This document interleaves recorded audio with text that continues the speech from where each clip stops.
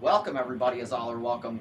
We're here at the www.simgear.club racebook basement here. We've got our simulator here. I wanted to do this video after visiting the Micro Center $10,000 simulator and give you a comparison to one that has a couple other tricks on it and uh, explain them to you. So we go right to it here.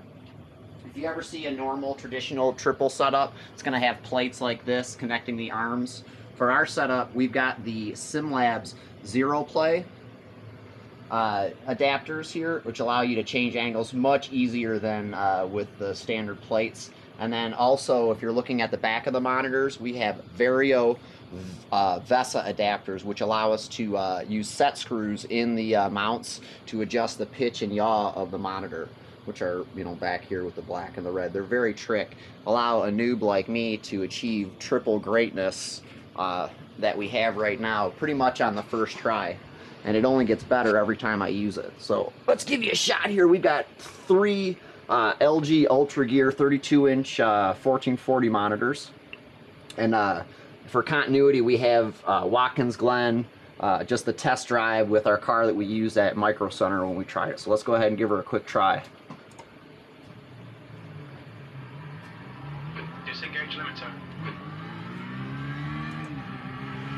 I'm not going to tell you how much this simulator costs because my wife is here helping me adjust the camera as I drive. She's a peach. So as far as the PC compares to Micro Centers, I'm pretty sure mine's a comparable. I bought it from there. It's pretty much top flight. It's got a 3090 RTX in it. An i7, uh, pretty current processor.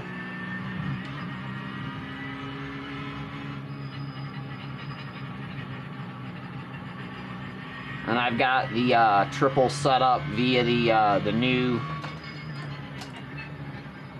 DX11 renderer monitor setup that they've added in the least most recent builds.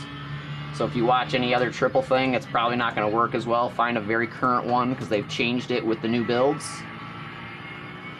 But not using $1,500 pedals here, I'm able to stop the car because they're calibrated properly.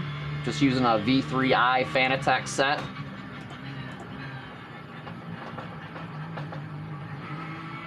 Really weird when my mic grabs my head when I'm driving. But super cool nonetheless. You see, we've already, because we're in our home simulator and we feel a bit more comfortable and it's calibrated properly, are able to make it around track. I think I crashed twice already at Micro Center. We're just doing the baseline setup.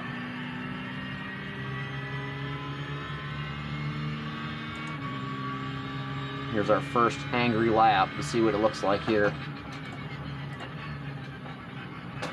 I'm not super fast. I'm just going to try and proficiently make it around here to give you an idea for what this looks like in a properly calibrated set of triples with a fairly decent FOV setup.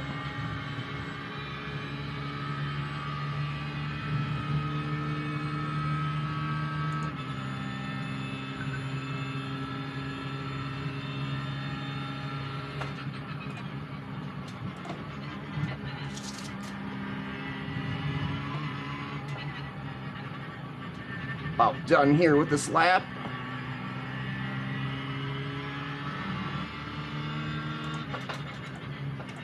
We're using a Go Insta Go 2 camera for this POV. They're not very good.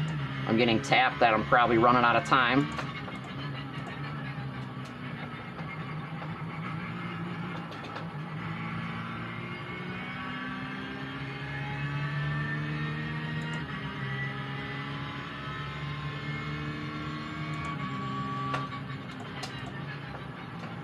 Off two seconds in the last one.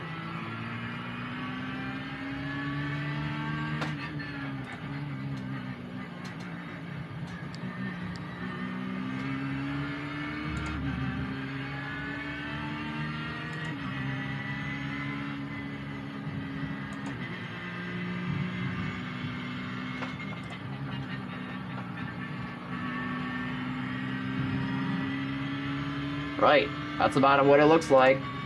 It's an out lap and an angry lap. Oh my god, it's so slow. I'm embarrassed.